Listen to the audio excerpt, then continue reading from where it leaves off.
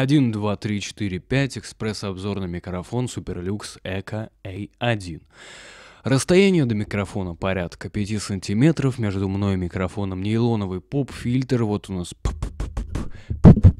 Думаю, слышно, что родной справляется довольно плохо, да, с подавлением взрывных согласных. Усиление на микрофон у нас подается 58 дБ, что для динамического не так уж и много. Комплект подставки входит сам микрофон, нейлоновая сумка и держатель крепления на стойку. Звук вы слышали на протяжении всего видеоролика. Спасибо за просмотр. Спасибо за просмотр. До свидания, ребят.